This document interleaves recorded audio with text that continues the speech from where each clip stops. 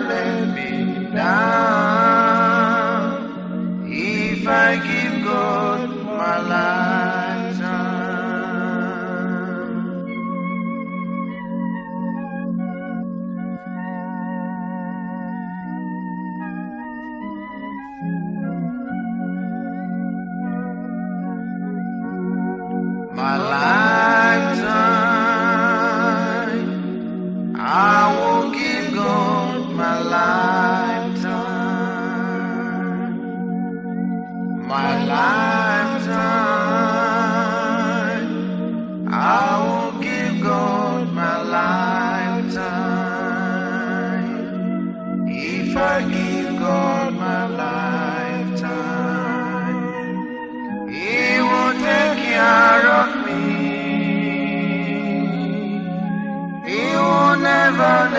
never let me down.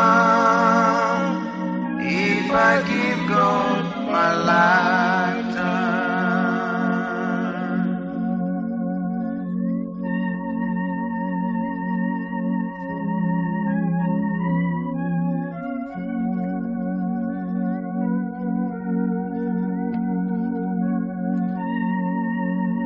Shall we bow our heads in prayer?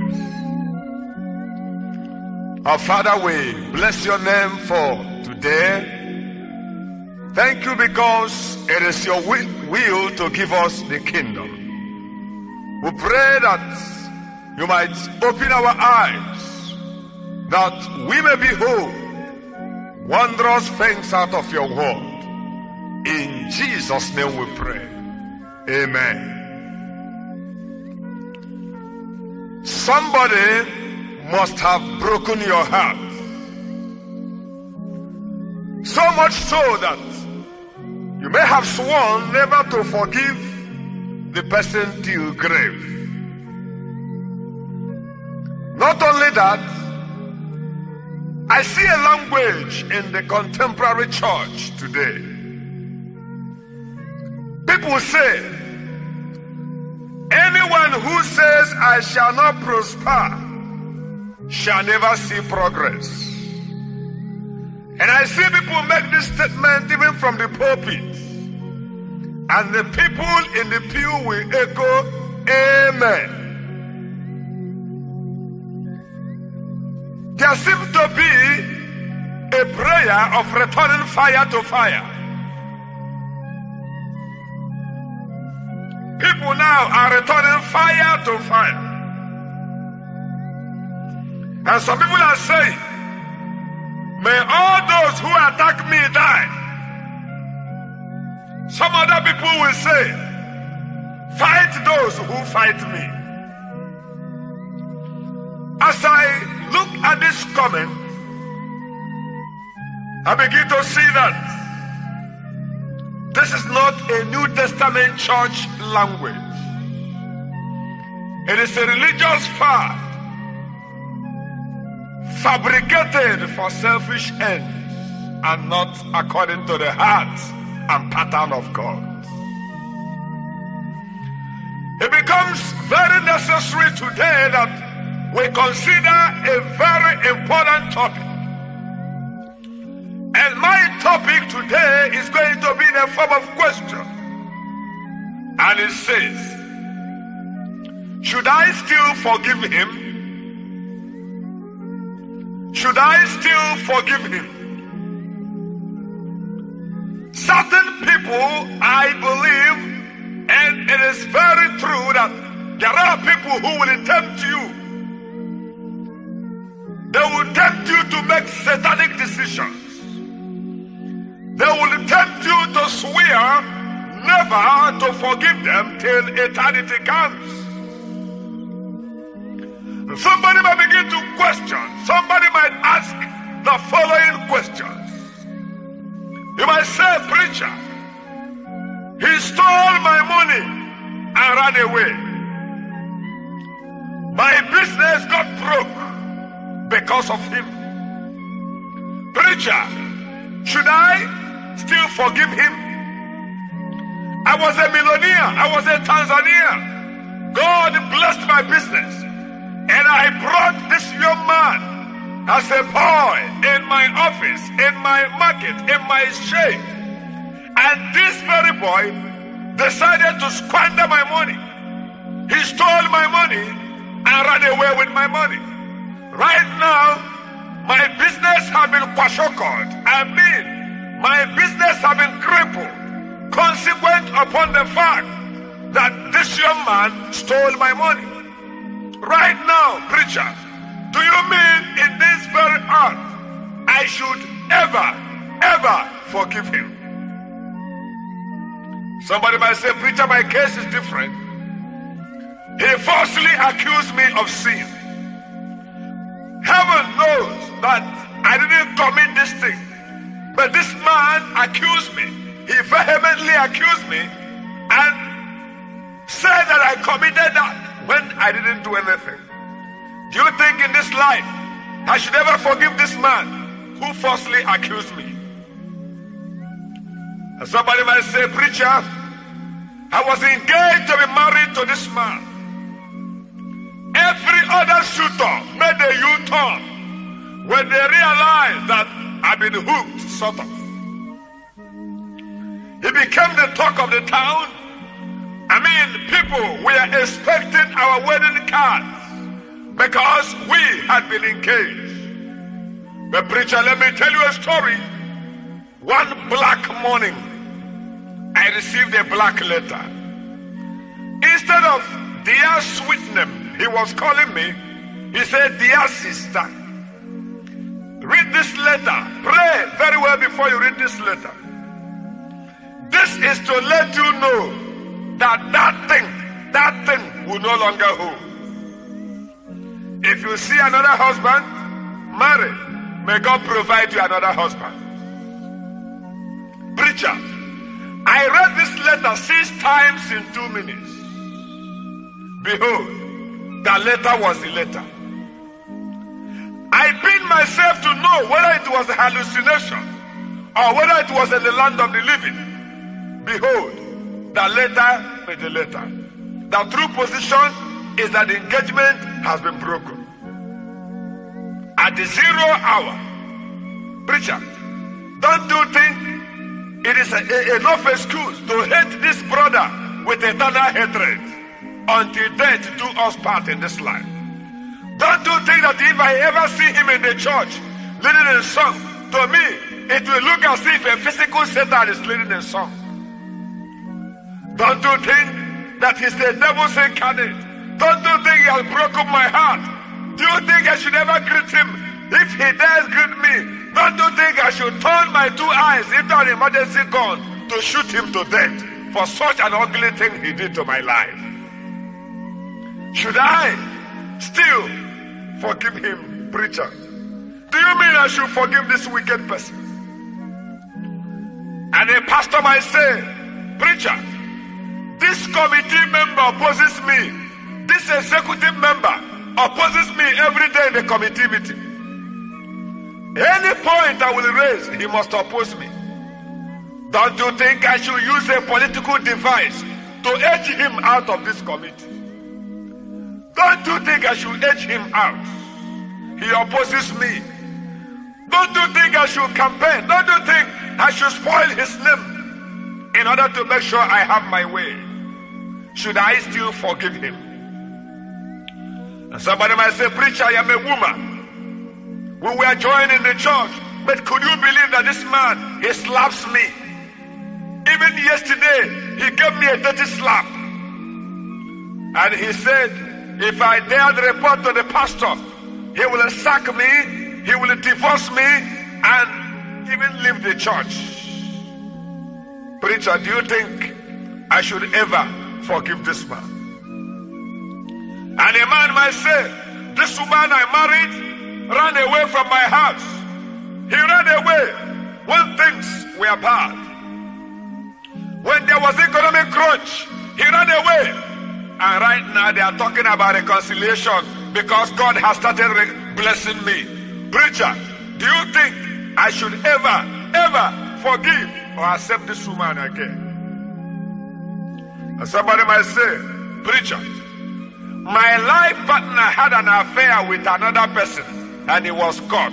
That is, my life partner had extramarital sex with another man, with another woman, and they were caught in the act. Oh, preacher, don't you think I have now a biblical backing to go for a divorce, to send this man, to send this woman out of my life? Should I still forgive him? Another person might say, This wicked man does not give me money for food. Do you think I should ever forgive him? If I struggle and sell granite, if I struggle and sell what I do in order to get money and cook in this house, do you think this man should eat? If he dares eat, don't you think I should pray that something should strike him in the throat while he's eating this food, since he does not give me money for food? And somebody might say, he denies, she denies me of my conjugal right. When I call him, he doesn't respond. When I call her, she doesn't respond. Preacher, do you think I should ever forgive the person? And somebody might say, he wanted to lure me to sin the other day. Except that the Lord delivered me from her hands, from his hand. Preacher, such a person who has become an instrument in the hand of the devil, do you think I should ever, ever forgive him? And somebody might say, Preacher, you see, this is my wicked uncle.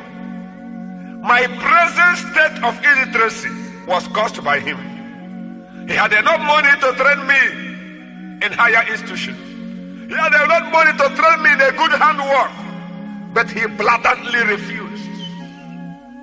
And now, God has helped me that I got some money.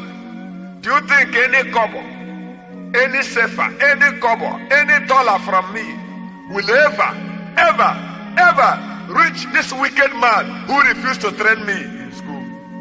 Do you think, preacher, that I should ever, ever forgive him?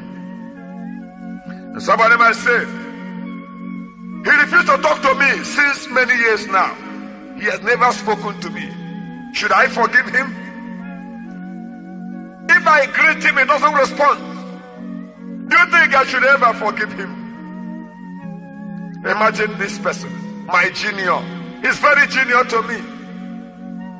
If I greet him, he doesn't respond. Preacher, do you think I will tolerate nonsense because of Christianity?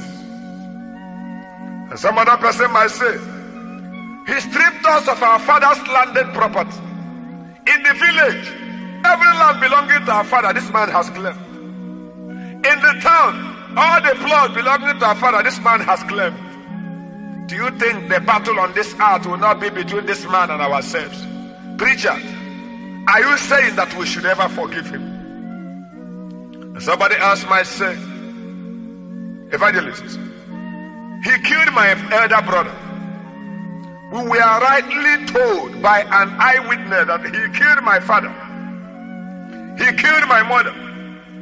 He killed my wife with poison. Oh, don't you think I will pursue this man until I eliminate him? Don't you think that this man is not worthy to live in this life? And somebody might say, the other day I committed an offense. I appeared before the church board. Every member of the committee wanted to release me. But do you see Deacon, Deacon, Deacon Tibo? Deacon Tibo, he insisted that I must be disciplined, that I must be suspended. Even the pastor wanted to release me, but Deacon Tibo, Deacon Tibo, he insisted, he insisted that I must be disciplined. Preacher, don't you think from now onwards, the battle in this church will be between myself and this deacon? Since he has insisted. And somebody might say, This is my mother in law. When my husband was about marrying me, This very wicked mother in law. He said, I cannot come into that house. That it will be over her dead body. Over her dead body. That, that, that this my present husband will ever marry me. But at last, by the grace of God, we got married. And now I am the queen of the mansion. I am the queen of the house. Preacher, don't you think whenever she visits, I should not even give him a nice food. I should not even allow her to sleep for one night. If she dare sleep, the kind of food I will give to her will be a terrible one. Should I still forgive her? And somebody might say, Preacher, this troublesome co-tenant, troublesome co-tenant is after me every day. This my neighbor, my neighbor in the market is after me. After all, what do I do? Does he feed me? What connection have I? And some people will use the Igbo uh, proverb or either they say Njihu Ajihu. And that is a very satanic quotation which comes from the heart of hell. And somebody might say, This man did not support my candidature. Because of that, I failed this election. Do you think I should ever forgive him? Somebody who did not support my candidature. And somebody might say, he opposed my candidature, and at last I won the election. I have now been voted. Don't you think I should use this opportunity to nail him to his coffin?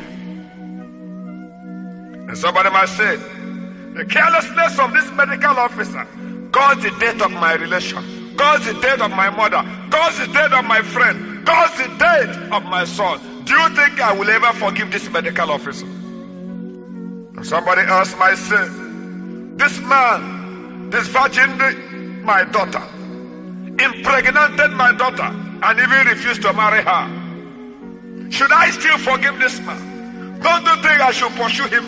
Don't you think I should go and hire killers to eliminate this man for what he has done to me? And somebody might say, in fact, there are people, I don't know my listener, if you are the person, you have decided to leave the church in order to have the chance to retaliate. You said instead of me not to retaliate, I better leave the church. I better get back to the world in order to retaliate. And somebody might say, He divided my church and broke away. He broke away. He took my members away. Don't you think I should place a perpetual curse on him? Well, we see this situation. I am aware of the fact that I've not read any scriptures. God is not a one-way traffic. I'm going to read the scripture at the middle of this message. It is intentional. Listen, maybe because of this fact, you've taken your decision. You develop malice and hatred because of these things. How can this relationship exist? How can this type of condition exist? I will come to the same church, pray together, take the same communion. Why? And you put on white clothes while your heart is black. Shake hypocritical hands. Expect to go to heaven. Or maybe you sing in the same band. Or maybe you come to the same committee meeting, executive meeting. Or maybe you become the same partner in the ministry. While this type of situation is existing, no wonder many will go to church and still go to hell. When you see the person, you feel an inner remorse as if you have seen a physical Satan or enemy. And the question is this Is there a heaven at all? I want to take you to the scriptures.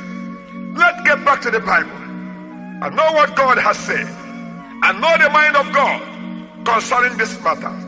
Turn with me to the gospel according to St. Matthew chapter 5. Matthew chapter 5. I'm reading verse 20. Matthew gospel chapter 5. Let every personal philosophy be lie, but let the word of God be the truth. God will not tell us to do an impossible thing, but He will tell you to do a difficult thing. Take it again. God will not tell you to do an impossible thing, but he will tell you to do a difficult thing.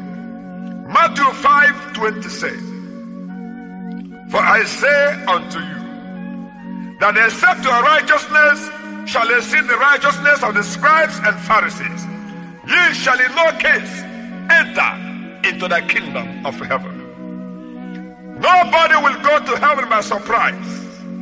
He said, except your righteousness exceed the righteousness of the Pharisees and the scribes, you cannot, you cannot enter into the kingdom of heaven.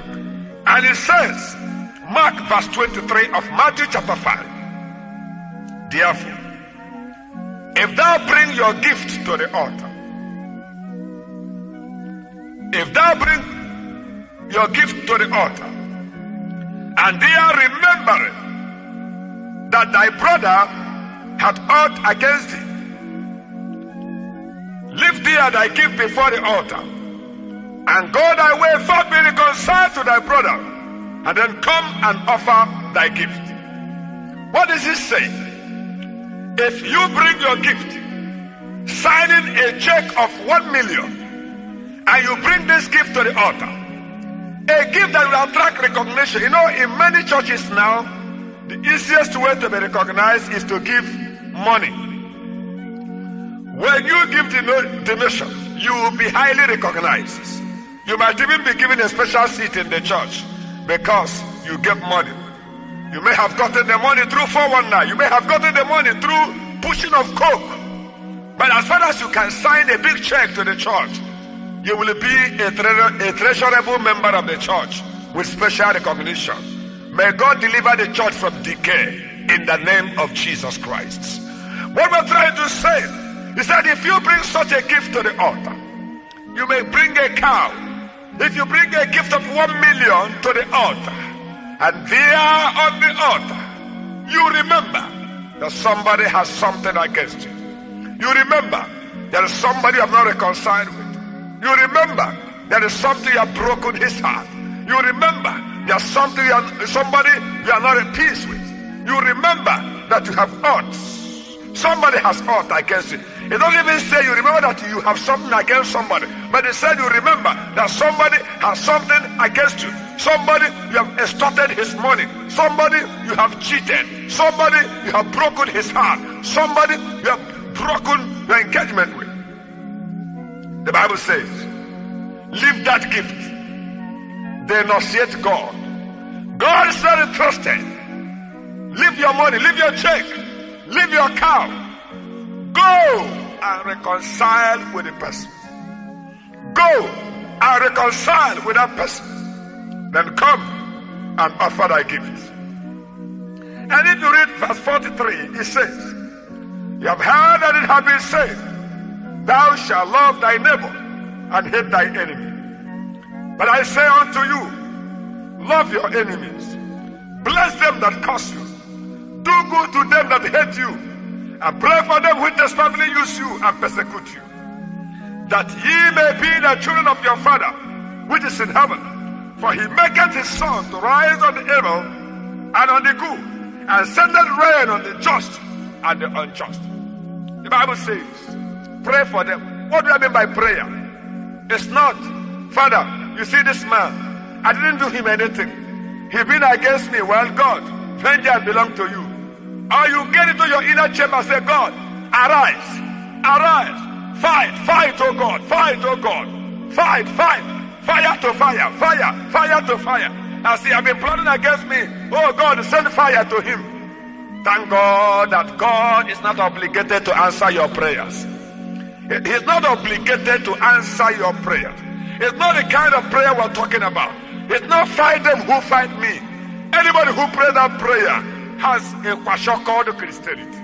Now, if you read the Bible very, very well, it says in Matthew chapter 5, it says, Pray for them who persecute you. And even in Romans, quickly, the Bible has an answer in Romans chapter 12. If you read Romans chapter 12, verse 14, you will see God expressing something very important along this line. Romans 12, verse 14. He said, Bless them which persecute you, bless and curse not. Rejoice with them that rejoice and weep with them that weep. Be of the same mind one towards another. Mind not high things, but condescend to men of low estate. But be not wise in your own conduct. And verse 17 says, Recompense to no man evil for evil. Provide this honest in the sight of all men, if it be possible. As much as it lieth in you, live peaceably with all men. Live peaceably with all men. Dearly beloved, avenge not yourself, but rather give place unto wrath. For it is written, Vengeance is mine, I will repay, says the Lord. Therefore, if thine enemy hunger, feed him. If he thirsts, give him drink. For in so doing, thou shalt heap coals of fire on his head. And I just want to draw your attention to Jesus. I just want to draw your attention to Jesus. If you read Matthew chapter 23, verse number 24, they came to crucify him. They have a spear on him. They told him, If you are the Son of God, come down from the cross. I don't know what Jesus saw, but he said, Father, forgive them, for they do not know what they are doing. They are against me, but Lord, forgive them. They do not know what they are doing. I thank God for that prayer. And let me tell you, my friend, if those who are against you, if their eyes could be opened, in fact, they will not attack you. They are attacking you because their eyes have not been opened. They are attacking you because they are blinded. And if you can pray the prayers of Jesus, Father, forgive them, for they don't understand what they are doing. If they understood, if they will understand, they wouldn't have attacked you the way they are doing. And so, what are we really trying to say?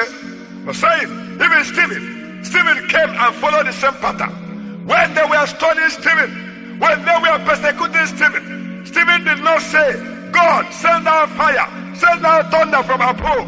Stephen said, Father, do not count this as unto them. Don't count this as sin unto them. And that was very wonderful. That was very wonderful. The prayers. A wonderful prayer by somebody whose heart has been touched. Let's pause a bit and turn to the other side.